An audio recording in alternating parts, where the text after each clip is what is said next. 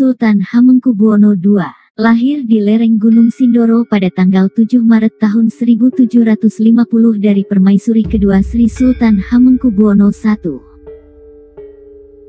Ia diberi nama kecil Raden Mas Sundoro. Masa kecilnya dilalui bersama ibunda, Gusti Kanjeng Ratu Kadipaten, di wilayah pengungsian akibat perang melawan VOC. Situasi tersebut kelak membentuk karakter yang keras pada diri Sri Sultan Hamengkubuwono II. Ketika tiba masa perjanjian Giyanti dan berlanjut ke perpindahan keluarga besar Sri Sultan Hamengkubuwono I ke Keraton Yogyakarta, Raden Mas Sundoro mulai tinggal di dalam keraton dengan status putra raja. Semenjak itu pula kecintaan dan kepercayaan Sri Sultan Hamengkubuwono I kepada Raden Mas Sundoro meningkat pada tahun 1758, ketika Raden Mas Sundoro dihitan, beliau diangkat menjadi putra mahkota. Sesungguhnya melalui permaisuri yang pertama, Gusti Kanjeng Ratu Kencono, Sri Sultan Hamengkubuwono I telah menetapkan putra mahkota bahkan sebelum ditandatanganinya perjanjian Giyanti. Raden Mas Ento, demikian nama putra mahkota tersebut. Pujangga Keraton menuliskan bahwa sepulang dari perjalanan ke Borobudur, Raden Mas Ento jatuh sakit dan kemudian meninggal dunia. Oleh karena itu, status putra mahkota kemudian disematkan kepada Raden Mas Sundoro.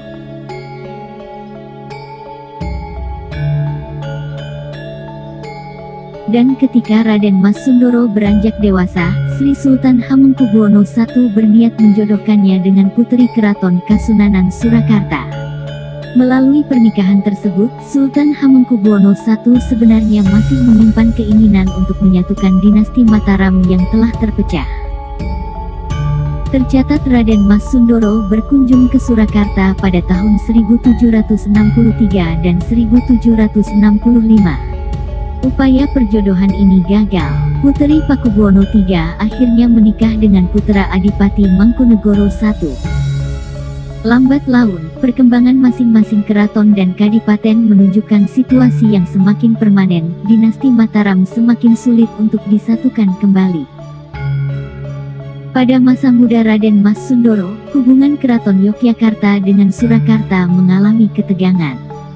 Faktor pemicunya adalah batas wilayah yang tidak jelas di antara dua kerajaan tersebut. Jalan damai yang diupayakan melalui jalur pernikahan antara dua kerajaan tidak membuahkan hasil.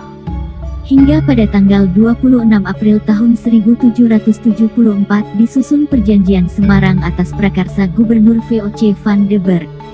Perjanjian ini memberi batasan tegas pembagian wilayah sebagai upaya mencegah konflik terulang kembali. Raden Mas Sundoro dewasa melihat baik dari perjanjian Giyanti maupun perjanjian Semarang, membuat kekuasaan dan wilayah Raja-Raja Jawa semakin sempit. Kedua perjanjian itu lebih menguntungkan VOC karena wilayah kekuasaannya justru mengalami perluasan. Tekanan dari VOC juga semakin mencolok baik ketika Sri Sultan Hamengkubuwono I maupun Sunan Pakubuwono III mulai menunjukkan gejala kemerosotan kesehatan. Semenjak itu pula kebencian Raden Mas Sundoro kepada VOC khususnya dan orang asing pada umumnya semakin membesar. Akan tetapi, kenyataan ini justru membuat Sri Sultan Hamengkubuwono I semakin sayang dan menaruh harapan besar agar Raden Mas Sundoro mampu mempertahankan dan melindungi Yogyakarta dari rongrongan bangsa asing. Hal ini diwujudkan dengan membuat perayaan atas penetapan Raden Mas Sundoro sebagai calon pewaris tahta pada tahun 1785. Peristiwa ini menurut beberapa sejarawan dilakukan oleh Sri Sultan Hamengkubuwono I untuk mengabadikan pergantian abad tahun Jawa 1700 yang biasanya ditandai dengan peristiwa penting di bumi Jawa. Dengan status sebagai calon pewaris sah tersebut, Raden Mas Sundoro mulai melakukan gerakan-gerakan perubahan di dalam keraton dan berupaya melindungi keraton Yogyakarta terhadap ancaman VOC.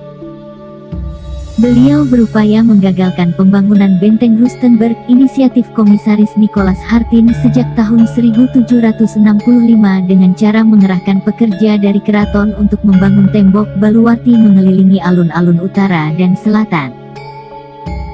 Tak lupa untuk meningkatkan pertahanan, sebanyak 13 meriam ditempatkan di bagian depan keraton menghadap ke arah benteng Belanda tersebut.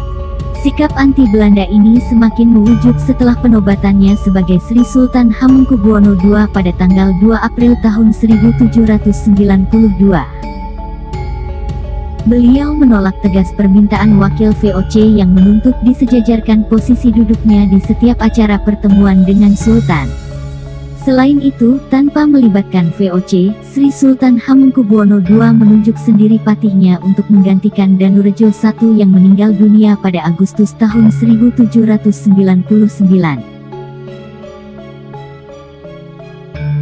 Terjadi banyak peristiwa penting pada periode awal abad ke-19.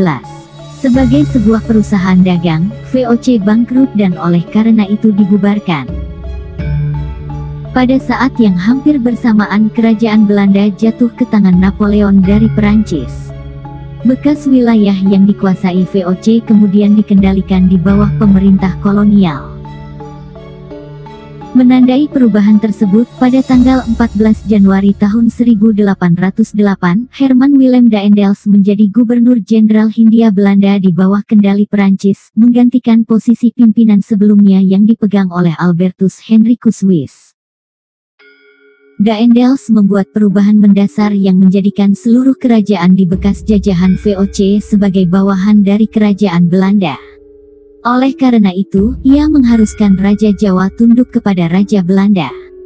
Daendels juga mengeluarkan aturan bahwa hak pengelolaan hutan harus berada di bawah pemerintah kolonial. Sri Sultan Hamengkubuwono II dengan tegas menolak semua tatanan baru tersebut. Hingga di kemudian hari, Daendels sendiri datang ke Yogyakarta membawa 3.300 pasukan untuk menekan Sri Sultan Hamengkubuwono II. Akibat dari tekanan tersebut, Sultan Hamengkubuwono II dipaksa turun tahta dan digantikan oleh putra mahkotanya Raden Mas Surojo sebagai Hamengkubuwono III pada tanggal 31 Desember tahun 1810. Hamengkubuwono III diharuskan menandatangani kontrak dengan Belanda dengan syarat-syarat yang memberatkan. Namun perjanjian yang ditandatangani pada Januari tahun 1811 ini tidak sempat dilaksanakan karena keburu Inggris datang dan memukul mundur Belanda. Kesempatan ini dipergunakan oleh Sri Sultan Hamengkubuwono II untuk mengambil kembali tahtanya. Beliau menurunkan status Hamengkubuwono III kembali ke posisi sebelumnya dan mengeksekusi Patih Danurejo II yang didapati terbukti bersekongkol dengan Daendels. Sifat keras Sri Sultan Hamengkubuwono II lagi-lagi menempatkan beliau berhadap-hadapan dengan bangsa asing. Di bawah pimpinan Letnan Gubernur Inggris Thomas Stamford Raffles, Keraton Yogyakarta diserang oleh prajurit sepoi asal India pada tanggal 20 Juni tahun 1812. Akibat gempuran tersebut, keraton diduduki, harta benda termasuk ribuan karya sastra Jawa dijarah, Sri Sultan Hamengkubuwono II ditangkap dan kemudian diasingkan ke Pulau Pinang hingga tahun 1815. Kembalinya Sri Sultan Hamengkubuwono II dari pengasingan ke Pulau Jawa pada tahun 1815 tidaklah lama. Setelah penyerahan kembali jajahan Belanda oleh Inggris pada tanggal 9 Agustus tahun 1816, Belanda segera membahas posisi Sri Sultan Hamengkubuwono II yang dianggap sebagai ancaman besar. Maka pada tanggal 10 Januari tahun 1817 Sri Sultan Hamengkubuwono II dibuang ke Ambon. Sementara, selama kurun waktu tersebut berlangsung, di Yogyakarta sedang dilanda kondisi tidak menentu. Sri Sultan Hamengkubuwono III meninggal, kemudian digantikan oleh putranya sebagai Sri Sultan Hamengkubuwono IV. Tidak bertahta cukup lama, Sri Sultan Hamengkubuwono IV meninggal dan kemudian digantikan oleh putranya yang masih belia sebagai Sri Sultan Hamengkubuwono V. Saat itulah kemudian menyusul perlawanan terbesar sepanjang sejarah pemerintahan kolonial Belanda yang dipimpin oleh Pangeran Diponegoro. Posisi Sri Sultan Hamengkubuwono II yang kemudian disebut sebagai Sultan Sepuh dipahami oleh Belanda bahwa selain menjadi ancaman juga bisa menjadi penengah karena didengarkan oleh semua kalangan bangsawan istana. Maka diputuskan untuk memulangkan kembali Sri Sultan Hamengkubuwono II ke Yogyakarta, dan mengangkat kembali sebagai Sultan untuk yang ketiga kalinya pada tanggal 20 September tahun 1826.